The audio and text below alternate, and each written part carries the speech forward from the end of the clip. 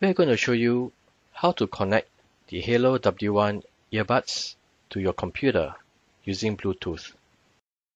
Now the earbuds must be in the setup mode. As you can see over here, the LEDs are blinking. If you need help to reset your earbuds to setup mode, please refer to our video on this. So from your computer, go to Settings. Select Devices. Now, you need to turn your computer Bluetooth on. So let's turn it on. Go to Add Bluetooth or other device. Select Bluetooth.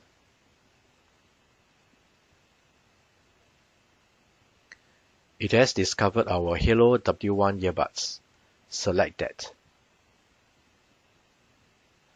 And your device is ready to go. It is now connected. Select Done.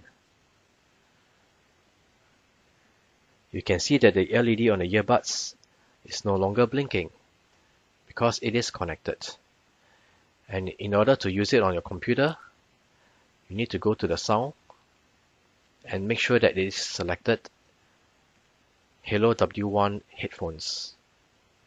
So this is how you connect and use your Haylou W1 earbuds to your computer using Bluetooth.